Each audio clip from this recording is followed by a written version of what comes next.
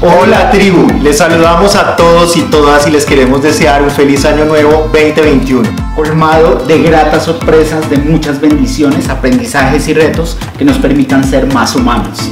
El año 2020 fue sorprendente, nos tuvimos que acostumbrar a las plataformas virtuales. Total, algunas personas presentaron síntomas de estrés postraumático. Fue un año muy desafiante para la humanidad en general, para las personas y sus familias. En algunos países, por otra parte, tuvimos que celebrar el año nuevo en aislamiento, aunque como es de esperarse, algunas personas no obedecieron.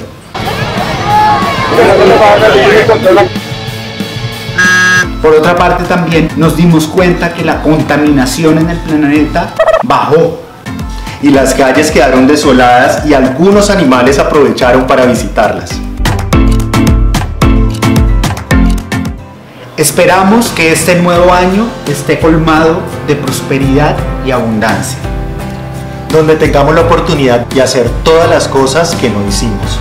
Ojalá podamos darnos los abrazos y los besos que aplazamos. Además, donde podamos seguir disfrutando de la vida y hacer todas esas cosas que están ahí pendientes para nosotros y nosotras.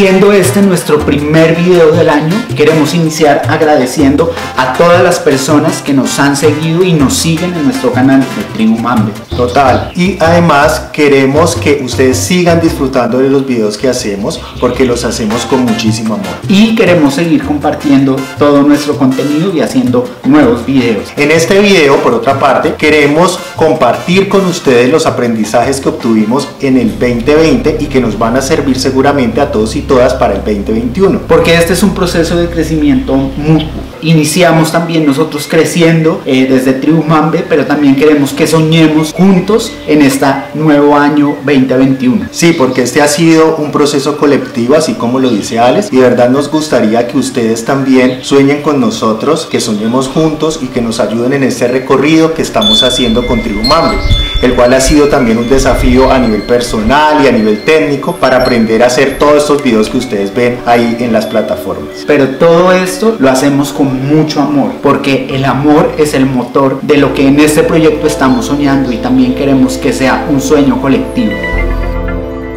Un, un fijador de ideas serias.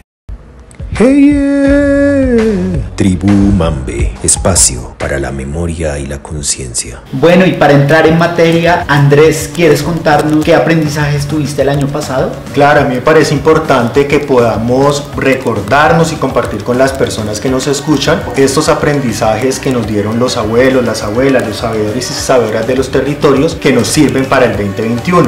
Una de las cosas que rescato es cierre de ciclos y apertura de nuevos procesos en los cuales nos decían que era importantísimo, por ejemplo, el aprender a vivir plenamente las situaciones, entendiendo que estas son temporales y sobre todo también entender que es importante vivir con desapegos porque al vivir con desapegos nosotros tenemos la oportunidad de vaciarnos todo el tiempo, de hacer esa limpieza interior que tanto necesitamos para dejar que en nuestras vidas ingresen nuevas experiencias, nuevas personas, sobre todo nuevas formas de, de seguir adorando la vida y de seguir amando la vida.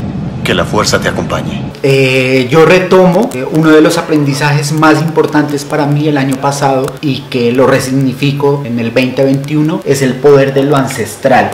Lo ancestral que hay en cada uno de nosotros de lo que cada uno y cada una de nosotros llevamos desde nuestros abuelos e incluso desde generaciones mucho más atrás. Un gran poder conlleva una gran responsabilidad. Es decir, cómo hemos aprendido de generación en generación, cómo vivimos la vida, cómo interpretamos y cómo vivimos la relación con los otros y cómo también vivimos e interpretamos la relación que tenemos con el medio ambiente, con otras especies, con los animales, con las plantas.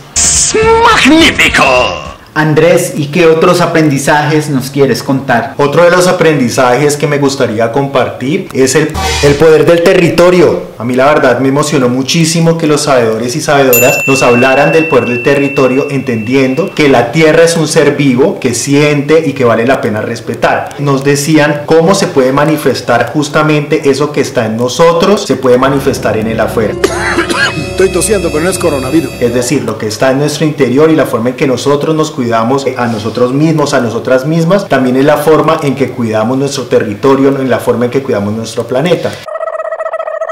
Uno de repente, con una pequeña broma, una ironía, consigue que se fije en el lector una idea seria. Me llevo conmigo eso del poder de amar a la tierra y de respetar nuestro territorio, nuestro cuerpo, como ese territorio cercano, como ese lugar cercano y ese primer hogar. Otro de los aprendizajes que recuerdo y que llevo en mí es ser más humanos, el entender la humanidad que hay en nosotros y que esa humanidad también es importante no solo tenerla, sino también compartirla con nosotros. En este mundo hay sitio para todos. El camino de la vida puede ser libre y hermoso. Otro de los mensajes que también cargo conmigo y que ellos y ellas nos dejan para este momento que estamos viviendo es sanar las relaciones familiares lo cual me parece que es muy oportuno porque en estos periodos de aislamiento pues hemos tenido que estar con nuestras familias, con estas personas que tenemos cerca, ¿verdad? Ya sean estas familias sanguíneas o estas familias adoptivas, estas familias que acogemos, amigos, amigas y demás. Entonces me parece muy bonito como, como esa clave que nos daban y decía y nos decían que es una oportunidad para poder sanar esas relaciones con uno mismo, esa relación con la persona con la cual vamos a convivir todo el tiempo que somos nosotros mismos y nosotras mismas. Y eso me parece muy interesante. Uno de los grandes aprendizajes que he tenido es el entender el amor por la tierra y la relación tan estrecha que nosotros tenemos. A veces creo que es una relación que está presente desde nuestro nacimiento. Cuando por ejemplo nosotros empezamos a caminar, nos soportamos sobre la tierra. Entonces la tierra como una fuente de vida que está presente y eso para mí digamos ha sido transformador. Por último, pero no menos importante, el poder de intencionar ese poder de, de, colocar la intención como presente y de saber qué es lo que nosotros y nosotras nos estamos pensando pues para la vida, para los proyectos. También nos hacían como ese llamado que incluso uno coloca la intención en la relación de pareja, en la relación con los amigos.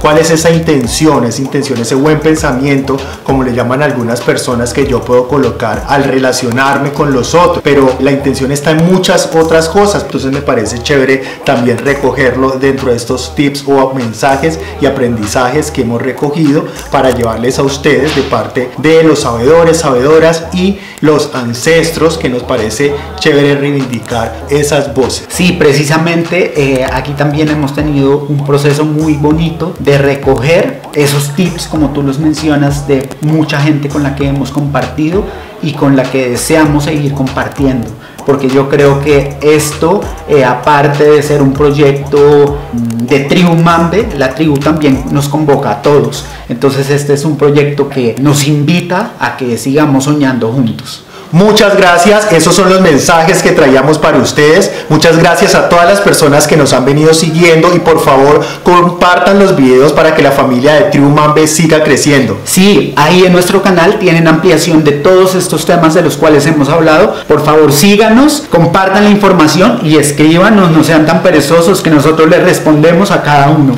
Además nos gustaría también conocer cuáles son esos aprendizajes que ustedes tuvieron el año anterior y cuáles son esos propósitos de año nuevo. Chao, tribu. Chao. El humor a veces me parece un, fijador de ideas serias.